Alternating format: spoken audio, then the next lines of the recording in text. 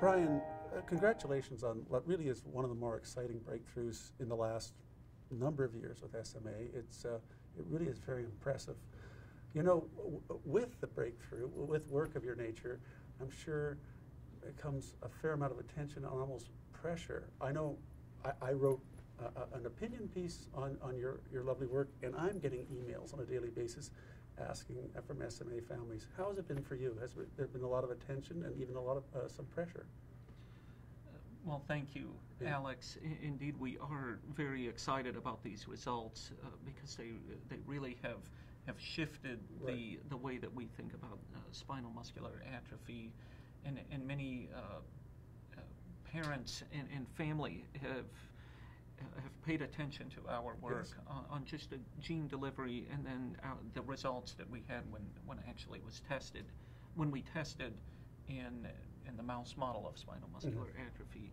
Indeed, we have been uh, inundated? contacted and, and, inundated with with a sense of uh, urgency from families, uh, as, as well as a sense of congratulations yeah. for paying attention mm-hmm. to the disease.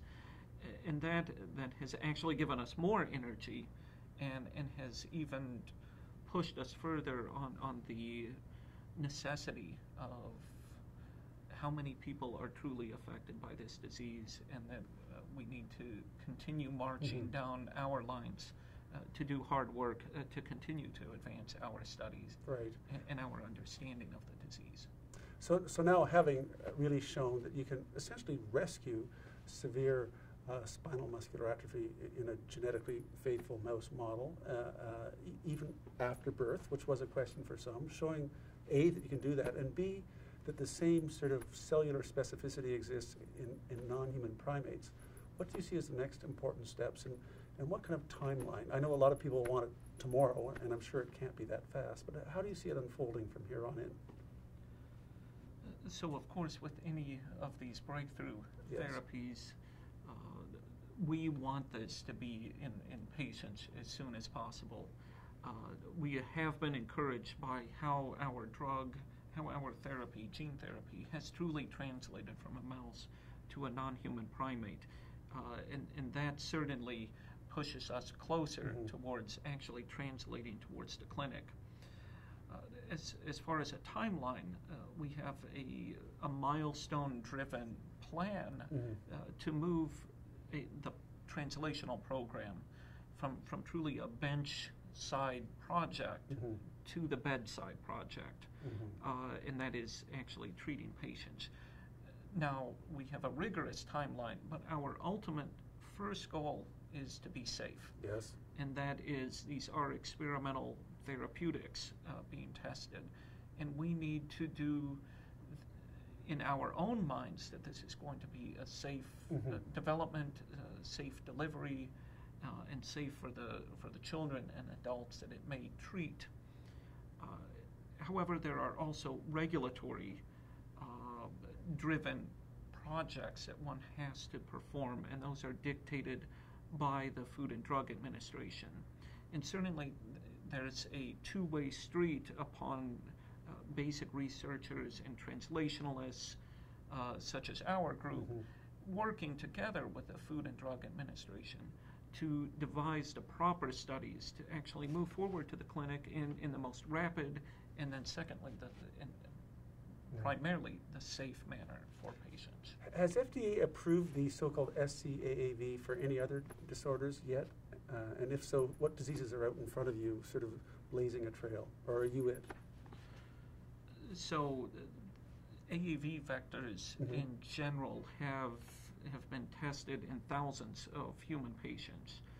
Uh, to date, there have been no studies in spinal muscular atrophy, to mm-hmm. our knowledge, that has utilized uh, gene gene delivery. Right. As far as self-complementary vectors, these are new uh, mm-hmm. new vectors that have and new technologies that have been recently developed in the field. Right. That is starting to gain momentum uh, on the clinical landscape. So, uh, lying in bed, uh, staring at the ceiling at three in the morning, is there something that that troubles you, that worries you about the path forward? Uh, is there one hurdle in particular? It's, it, it's a, a long and fairly arduous path, but are, are there things in particular that you might uh, think are going to cause problems as you move towards the, uh, the bedside? So I think our, our studies, and, and certainly Mhm. we do lie awake at 3 a.m. and Yes. sometimes we're working at 3 a.m. uh, on, on these projects. Um, the, the ultimate uh, issues are to design a safe, Mhm. a well controlled, and the right patient population for the first clinical trial. Yeah. Uh, what we are trying to do, uh, collaborating with clinicians, neurologists, Mm. as, as well as and with what we need to uh, to uh, our ultimate discussions with the Food and Drug Administration, is to define the patient population that is the right population to do the first trial in Mhm. in, in man Right, uh, or, or in person. right.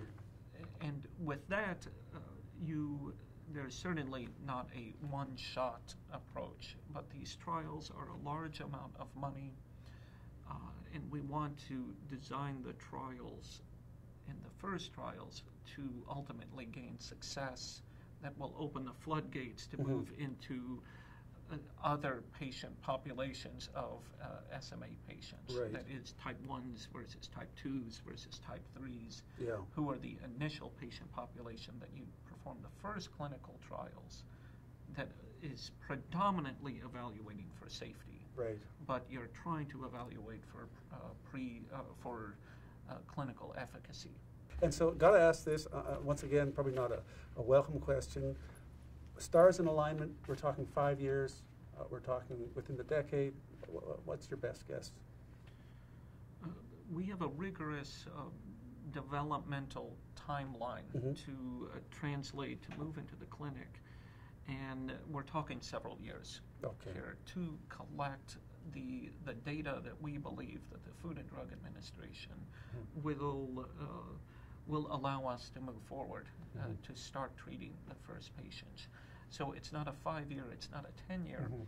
Uh, to get uh, first into person, first into SMA uh, Mhm. individuals, uh, we are approaching the timeline to uh, to start speaking to the Food and Drug Administration to help guide those formal studies Mhm. so that we don't have to turn around and repeat things uh, and, and do it right the first time. We try to keep uh, the, the various uh, organizations involved in spinal muscular atrophy up to date, and we are very happy to share our information with Fight SMA upon our uh, translation towards the clinic as well as our research-based studies.